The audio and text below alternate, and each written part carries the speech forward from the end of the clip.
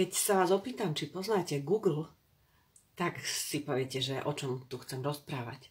Ale Google je živica, ktorá pochádza z Indie. Nie je náš Google všemocný a e, vševedúci. Google je teda živica, ktorú používame pri, napríklad pri strese, pri zvyšenom tlaku, v práci, e, napríklad aj v predvianočnom období, keď sa potrebujeme uvoľniť, e, oddychnúť si, keď nemôžeme zaspať. Čiže večerný taký predspánkový rituál s touto živicou bude určite veľmi vhodný. Uvoľňuje všeobecne, čiže pri rôznych aj krčoch, alebo pri mm, bolestiach žalúdka, neurózach.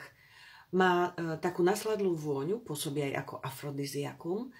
Takže mm, skúste indický Google. Uvidíte, ako e, vás upokojí, zároveň preniesie do úplne iných rovín, ktorý, v ktorých sa bežne pohybujeme a dodávam e, takú, také vnútorné sebavedomie a harmóniu. Nájdete svoj stred. Skúste Google živicu z Indie. Moja obľúbená.